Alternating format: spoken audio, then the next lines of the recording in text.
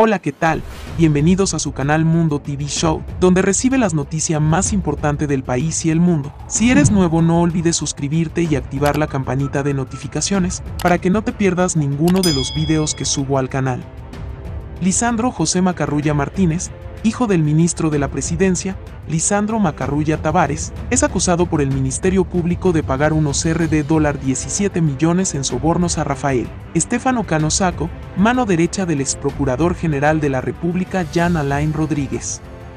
Según el expediente acusatorio del caso Medusa, el actual ministro Lisandro Macarrulla, quien tomó una licencia tras salir a relucir que su hijo y su empresa están acusados en el caso, sostuvo una reunión con el ex procurador Jan Alain Rodríguez, previo a la licitación, donde acordaron dar un 20% del monto total de la obra.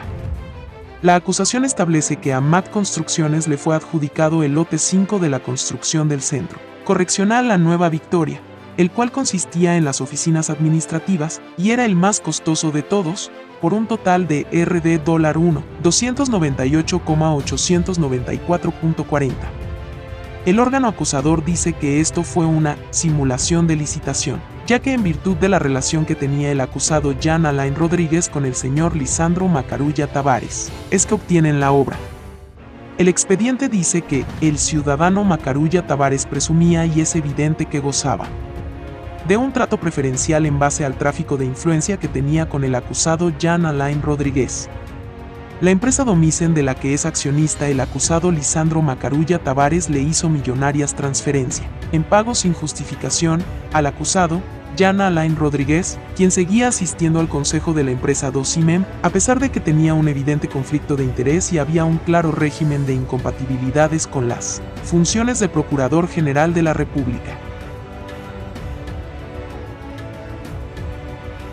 Jan Alain adulteró su declaración jurada para distraer recursos del Estado, según Ministerio Público. Santo Domingo.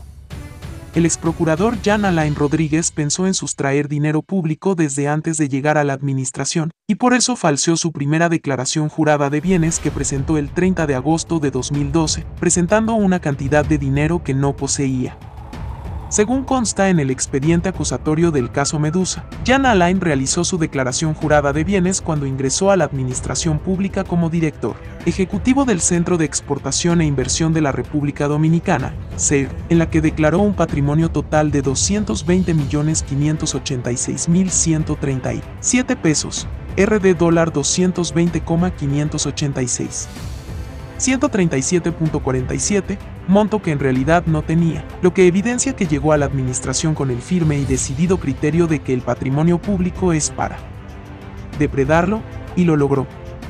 Con el objetivo de materializar con éxito su criterio de depredar el erario, el acusado Jan Alain Rodríguez Sánchez despliega un conjunto de acciones criminales que puso en movimiento en el transcurso de su paso por la administración pública, lo que pone de relieve una conducta delictiva de una persona que no es un criminal circunstancial, sino un organizado y con una muy clara misión y visión de lo que quería del Estado dominicano, señala el expediente detalla que Jan Alain Rodríguez tuvo la gran oportunidad a la que cualquier criminal de cuello blanco quisiera acceder, que fue el apoyo sin condición del primer ejecutivo de la nación, Danilo Medina. Poder, informaciones privilegiadas, mecanismos de investigación sofisticados, un gran presupuesto, una millonaria partida económica especial y una mega estructura con una organización, como la Procuraduría General de la República. Cada una de las acciones que el acusado Jan Alain desarrolló dentro de sus funciones solo respondían a dos objetivos invariables, acumular riqueza del patrimonio público y forjarse una carrera política, sin importar lo que tuviera que hacer, incluso caer en idear y materializar campañas sucias, en contra de los propios miembros de su partido, ya que entendía que en la medida que salían informaciones falsas o manipuladas de algunas personas a las que veía como posible competencia de sus aspiraciones políticas, él podía crecer en su meta de ser presidente de la República Dominicana, al precio que fuera.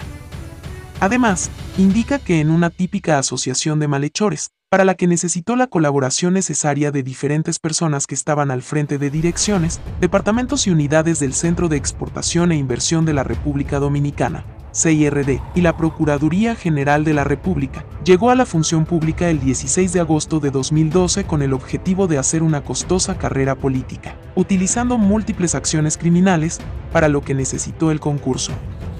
de varias personas cuya participación se detalla de manera precisa en la acusación.